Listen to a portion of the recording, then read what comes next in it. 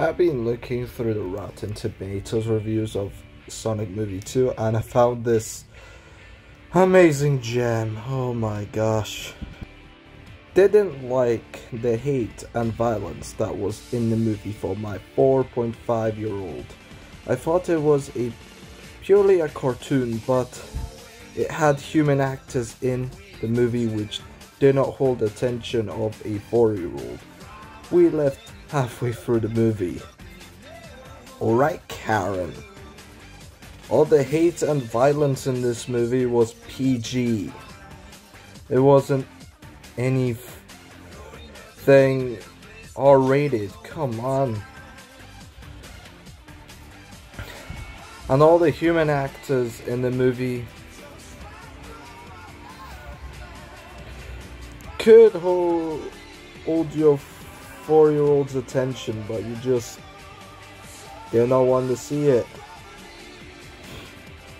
Like the first scene, Sonic that does a little little mess of him trying to be a hero, and then and then he literally get, gets told off by his dad, Tom Wachowski, and like that's a good message for your four-year-old. They they have a good they may have good intentions, but they can still screw up. Like this movie is literally like a live action cartoon.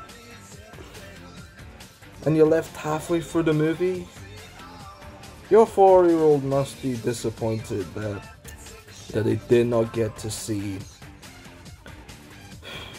that beautiful ending and and Sonic versus Knuckles. Why are you such a Karen? Oh my god. And also the wedding. People think that the wedding scene might have been boring for kids, but no. That would have been fun for for kids to, to, to, to see Sonic ruin a wedding. That that's fun for kids. Uh, bye Karen.